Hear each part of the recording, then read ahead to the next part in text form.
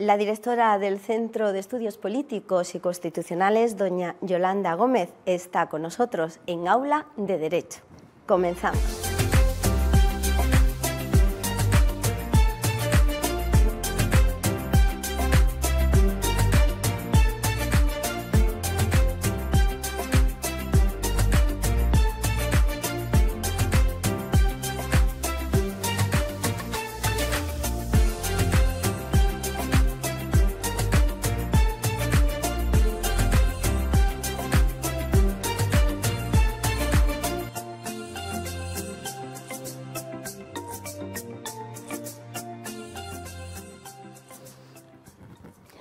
Buenas a todos, bienvenidos a un programa más de Aula de Derecho y aquí estamos como cada miércoles con todos ustedes. Muy buenas, don Emilio, bienvenido. Muy buenas tardes, muchas gracias. Hoy estoy especialmente contento porque nuestra invitada para mí no es especial, es querida, es muy querida. Pues sí, la verdad es que Ahora lo contaré por qué. Efectivamente, y lo vamos a contar rápidamente y vamos a darle, si te parece bien, don Emilio, pues también las buenas a nuestra invitada de hoy, doña Yolanda Gómez. Muy buenas y bienvenidas a nuestro programa. Buenas tardes, muchas gracias por la invitación. Estoy encantada de estar con ustedes. Bueno, pues eh, don Emilio, ¿por qué es tan especial esta pues, entrevista de hoy? Bueno, doña Yolanda es para mí muy especial porque presidió el tribunal en el que me dio sobresaliente cum laude en, mi, en mi doctorado. Y por eso es, es muy especial. Para bueno, la verdad es que era como una tarea pendiente y lo hemos conseguido, está con nosotros y que es un placer. Y si te parece bien, porque hoy vamos a hablar un poco del derecho constitucional, Por ¿no? Es experta. Efectivamente. Doña Yolanda es especialista. Ahí está, y para aquellos alumnos... Y además europeo también. Efectivamente. La cátedra Jean, Jean Monnet. Ahí está. Y yo creo que para los alumnos tanto de la UNED como de la Universidad de Granada, de la rama de Derecho, bueno, pues eh, interesados en la entrevista que también, eh, también están. Eh, don Emilio, si le parece a usted bien, podemos hablar un poquito de ella antes de, de comenzar un poco con la entrevista? El currículo es muy extenso, pero lo más importante que podemos decir de doña Yolanda es que es licenciada en Derecho por la Universidad Complutense en el año 82, obtuvo la licenciatura y en el 87 se doctoró por la UNED en la rama de Derecho Constitucional. tenemos, tenemos dos cosas en común, doña Yolanda y yo, que ambos somos licenciados en Derecho y que ambos somos doctores en Derecho por la en Derecho Constitucional por la UNED. Efectivamente. Por lo tanto, para nosotros es un, es un, un privilegio. Pues Emilio, eh, si te parece bien, eh, vamos a, mm, a, la entrevista.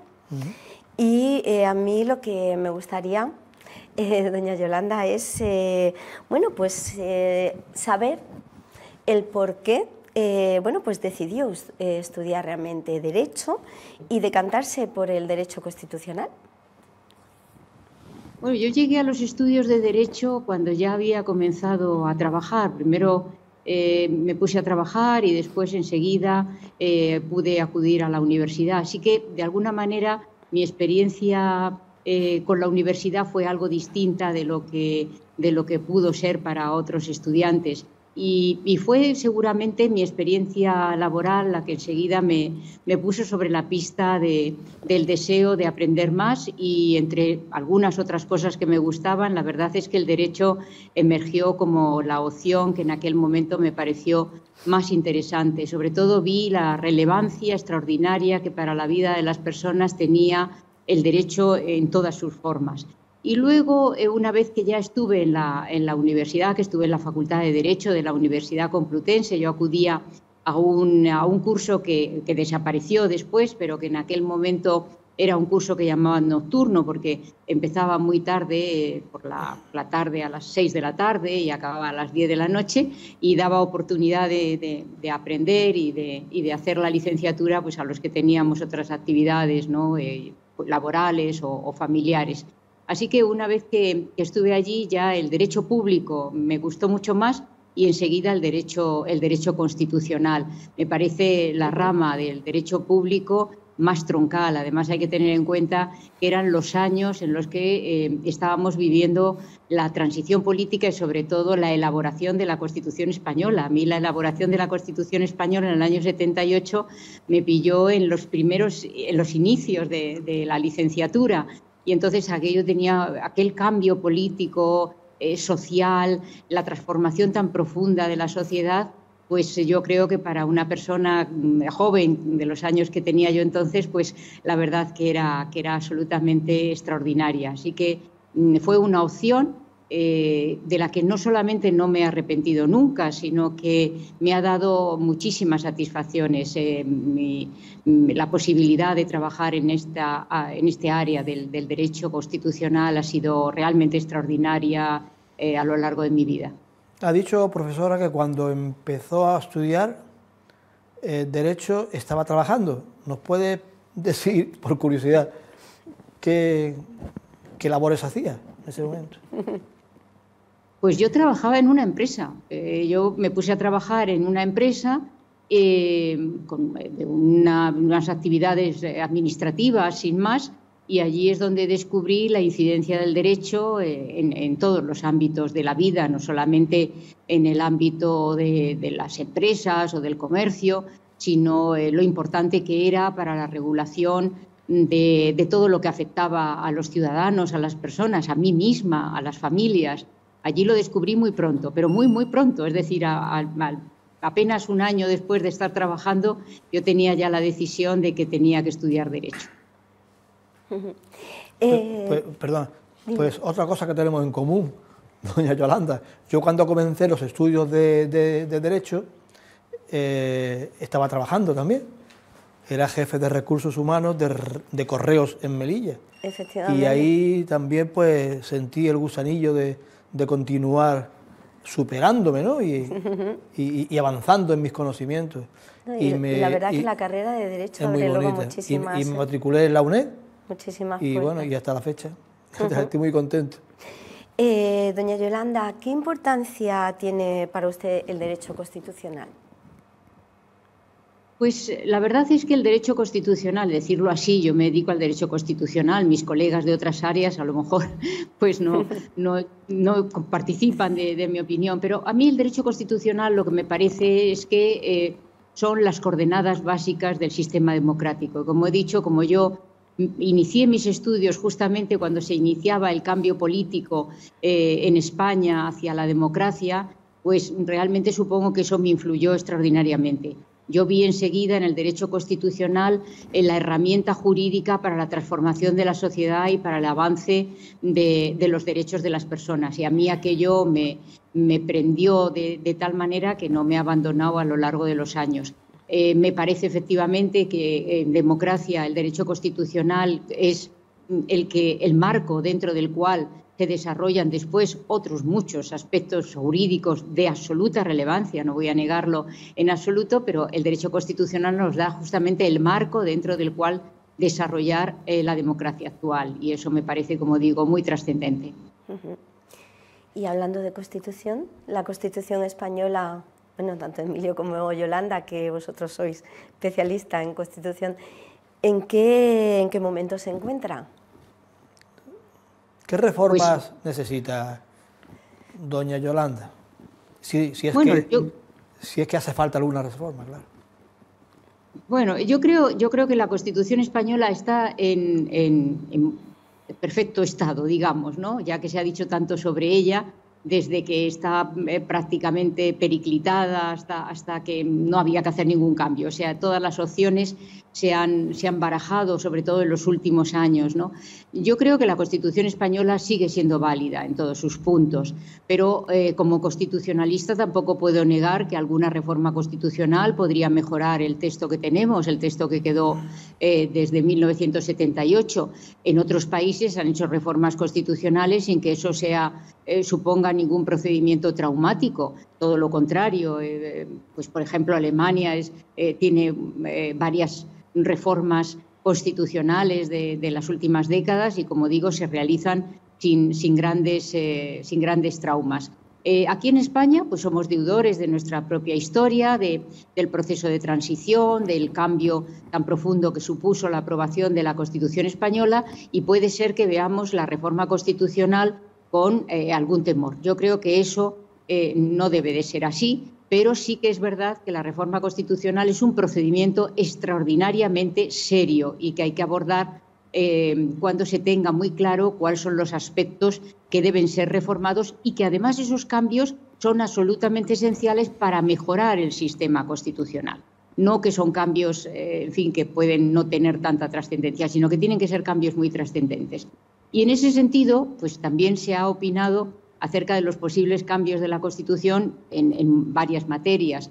Ya contamos con un informe del Consejo de Estado eh, que tiene ya algunos años, en el que al menos se establecía la necesidad o conveniencia o que era posible la reforma sobre el Senado, eh, la integración de España en la Unión Europea, la reforma de la sucesión a, la corona, algunas otras reformas institucionales. Quiero decir que esto se ha comentado y la doctrina lo ha comentado, comentado con, a lo largo de los años. Si yo tengo que elegir algún tema para una posible reforma constitucional que desde luego no veo en el horizonte más cercano, pero por eh, contestar a, su pregunta, yo creo que se podría eh, reformar alguna parte del título primero de la Constitución que se refiere a los derechos, a los derechos fundamentales, a los derechos no fundamentales, pero sí constitucionales.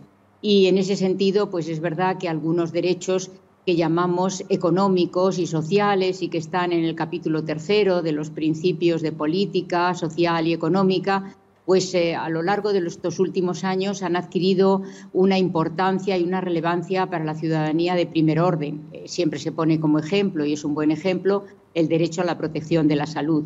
Pues el derecho a la protección de la salud seguramente ya no es un principio de política social y económica, sino que es algo más, es un derecho realmente eh, fundamental en el sentido de importante para la ciudadanía. Bueno, algunos cambios en este sentido podrían hacerse. Luego habría que dar entrada también a nuevos derechos derivados de las nuevas tecnologías, ya sea de las biotecnologías o de las tecnologías de la comunicación, etcétera. ¿no? Esto sería un cambio. Y desde luego porque lo he defendido durante décadas, la reforma de la sucesión a la corona, aunque ahora mismo no sea un problema porque la princesa de Asturias es, es, mujer, pero desde luego la preferencia del varón sobre la mujer en el orden de sucesión a la corona es una diferenciación entre hombres y mujeres que no tiene eh, buen encaje en un sistema constitucional democrático como el nuestro. Así que si alguna vez se, eh, se ve la posibilidad de reformar la Constitución, quizá eh, este artículo 57 también tendría que ser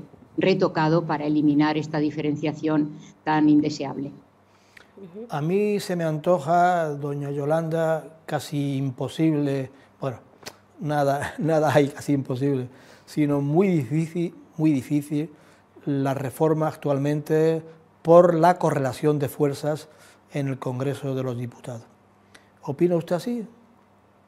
Sí, desde luego, ya dije que no, que es una reforma que estaba hablando casi como hipótesis de laboratorio porque no veo tampoco cercana una reforma constitucional. Y lo que sí es verdad es que si alguna vez se acomete un procedimiento de, reforma constitucional, ya sea el procedimiento ordinario o el procedimiento agravado, tanto más este segundo, que es muy costoso jurídica y políticamente, tiene que hacerse con un consenso muy amplio.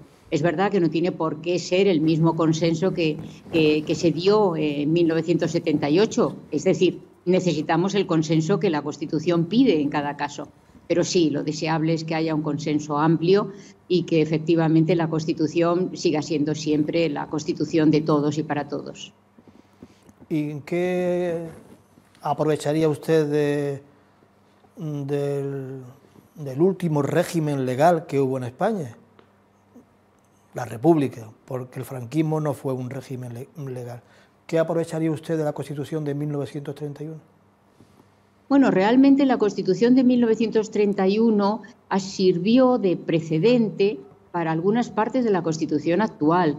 Naturalmente no para la jefatura del Estado, por razones más que obvias. Nosotros tenemos una jefatura del Estado monárquica, Em, perfectamente compatible con el sistema democrático actual, por otra parte. Pero, por ejemplo, eh, el sistema de derechos, eh, sí que hay derechos que tienen alguna correlación con los que ya se reconocían en 1931 en la Constitución republicana. Em, también la descentralización territorial, que no es idéntica, por supuesto, que no, es igual, pero bueno, había una descentralización territorial y después también lo ha habido en 1978.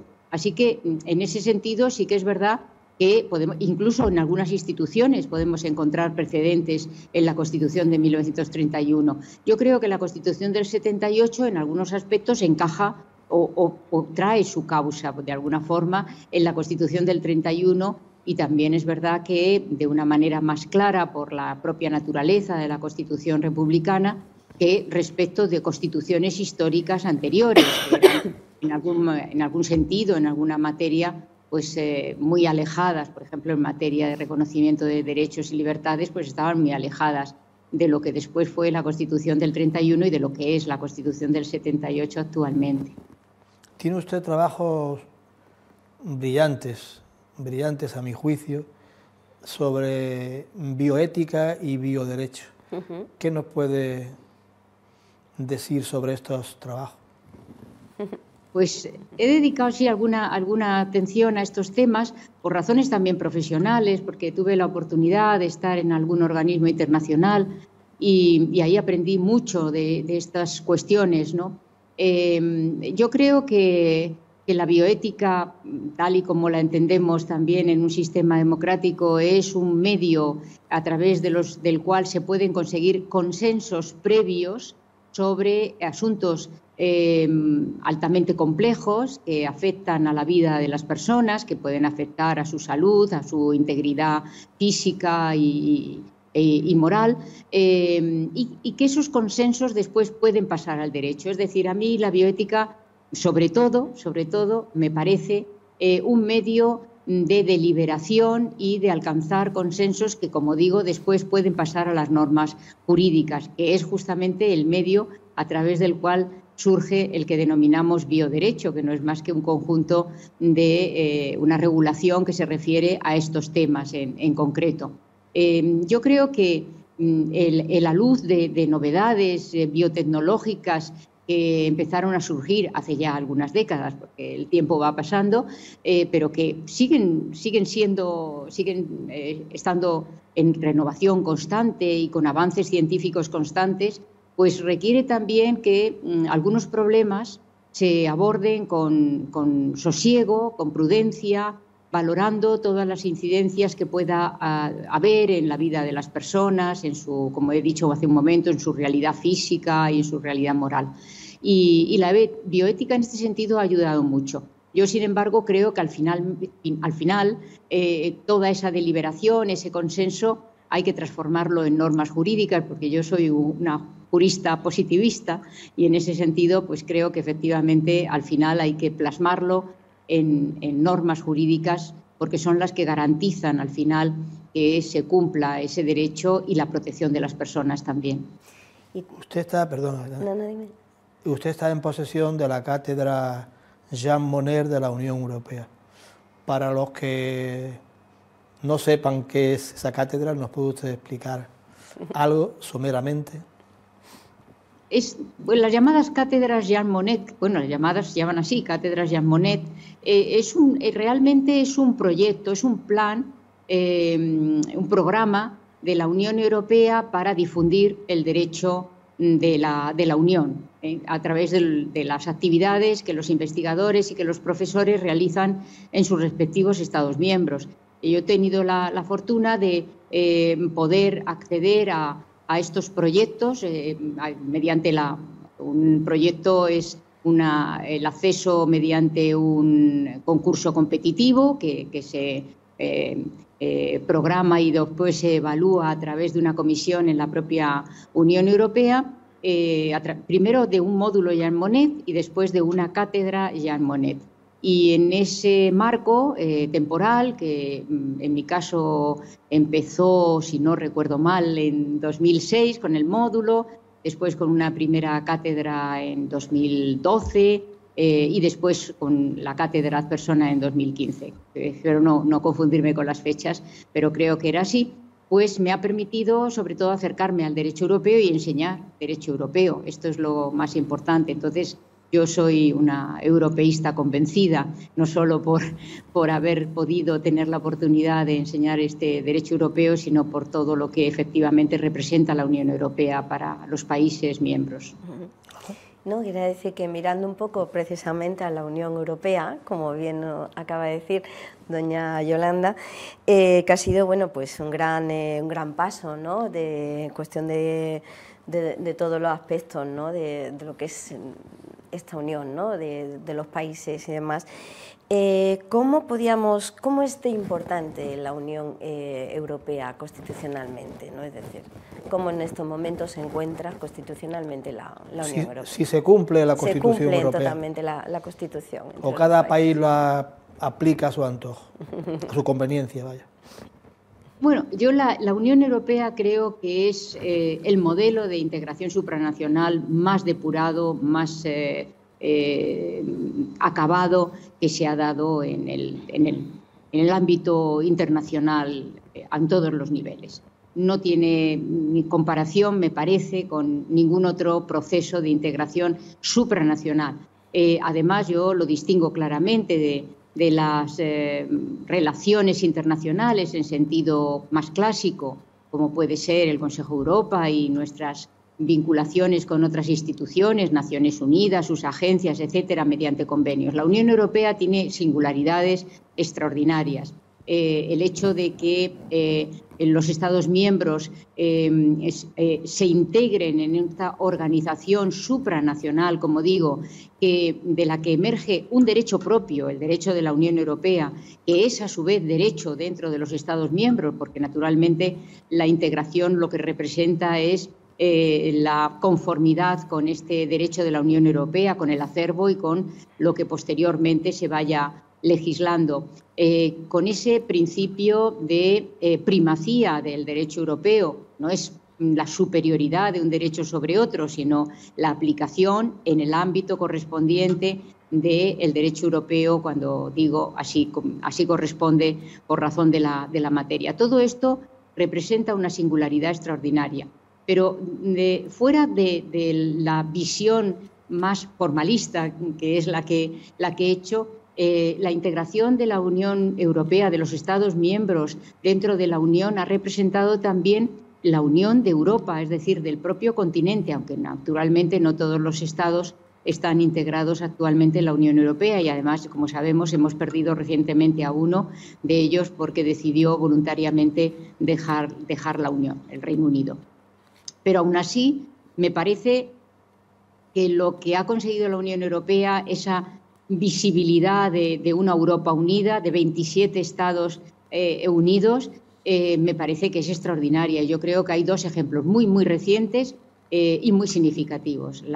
el primero de ellos fue la gestión de, la COVID, las decisiones que se adoptaron en la Unión Europea conjuntamente por todos los Estados para hacer frente a la pandemia que, que asoló al mundo entero y, por supuesto, también a, Europa y a todos los Estados miembros de la Unión Europea. Como digo, esa respuesta mm, unida en la gestión eh, que se hizo de las vacunas, que se hizo también de lo que se necesitaba para hacer frente a la, COVID, eh, yo creo que fue extraordinariamente ilustrativa de lo que representa la Unión Europea. Y la segunda, o el segundo ejemplo, este tremendo, es la guerra en Ucrania por la agresión de, Rusia a este, a este país eh, y se está viendo también la respuesta que está dando la Unión Europea y cómo los Estados miembros pues tienen en la Unión Europea un ámbito, un foro en el que pueden acordar, discutir, tomar decisiones que después pueden tener una repercusión eh, extraordinaria en, la respuesta unitaria, en la respuesta unida, diría, que tiene, eh, que está dando la Unión Europea. A mí estos dos ejemplos que son muy cercanos, pues me parecen muy, muy significativos. Y luego me parece también muy significativo destacar la evolución de la propia Unión Europea, de aquellas comunidades iniciales eh, que se formaron, que tenían el objetivo, sobre todo económico, del mercado común, a la Unión Europea actual, que es una eh, visualiza una Europa unida de, ciudadanos eh, y de derechos y de libertades. Me parece que este, este cambio a lo largo de las décadas pues ha resultado también extraordinariamente significativo. Ese país, ese país del cual usted ha hablado, que, que ha abandonado la Unión Europea, yo creo que más arrepentidos no pueden estar. Y ha sido un error histórico que están pagando y yo creo que pagarán de por vida. Eh, nos queda muy poquito tiempo, eh, don Emilio y doña Yolanda, pero mm, me gustaría hacerle una pregunta que, bueno, que queremos conocer un poquito más sobre eh, qué es y cuándo se creó esa red feminista de derecho constitucional. Esa pregunta me la has quitado porque yo solo la pensaba hacer. Pero bueno, ahí, ahí queda, queda, queda dicha la pregunta. Bueno, la, red feminista de derecho constitucional se creó ya hace, hace casi dos décadas, eh, ya tiene, sus, ya tiene sus, sus, años, pero se inició, mm, o por lo menos se inició, no tanto se creó, sino que se iniciaron los primeros trabajos, los primeros contactos para, para, eh, para crearla. Y, se debe a, la iniciativa mm, de varias profesoras de, Derecho Constitucional, de Julia Sevilla, de Mares Quembre, eh, todas ellas de la comunidad valenciana, porque allí se inician los, los, primeros trabajos que luego van a dar lugar realmente a la constitución de esta asociación, que es la Red Feminista de Derecho Constitucional. Eh, y estamos ahí integradas pues eh, un gran número de, mujeres constitucionalistas. Mm, ¿Qué, fin tenía finalmente cuando se crea la red? Pues eh, tiene el fin primordial de entender y de aplicar el derecho constitucional eh, de una manera diferente, es decir, entender que el derecho constitucional es capaz de una transformación de la sociedad que tenga eh, como punto eh, central, como objetivo central, la igualdad de mujeres y hombres. Yo me refiero siempre a la igualdad de mujeres y hombres y no a la igualdad de género, porque los conceptos no son exactamente iguales ni son sinónimos. Así que yo siempre hablo de igualdad de mujeres y hombres o de la igualdad de las mujeres en el ámbito en el que corresponda, en el ámbito laboral, en el ámbito de la salud, etcétera. Por lo tanto, este, digamos, sería el objetivo principal. Pero lo más significativo de la red es cómo se ha ido consolidando con el paso de los años, gracias, en este caso, al excelente trabajo que han realizado todas las compañeras que han pasado por las sucesivas juntas directivas que se han, que se han ido turnando, porque, como digo, el trabajo es totalmente desinteresado y ha sido extraordinario, de tal manera que actualmente pues la red tiene una eh, solidez eh, en cuanto a los trabajos que realiza, las investigaciones que realiza, las reuniones científicas que apoya. Y luego encontramos en la red, todas las mujeres constitucionalistas que participamos en la misma, pues encontramos siempre un foro de discusión extraordinariamente interesante porque estamos integradas mujeres que pensamos de manera distinta, que eh, podemos entender problemas con un punto de vista diferente, pero allí encontramos, como digo, un foro para expresarnos con total libertad. Yo creo que ha sido un gran logro y, como digo, se debe a todas las mujeres que han estado trabajando en la red a lo largo de todos estos años.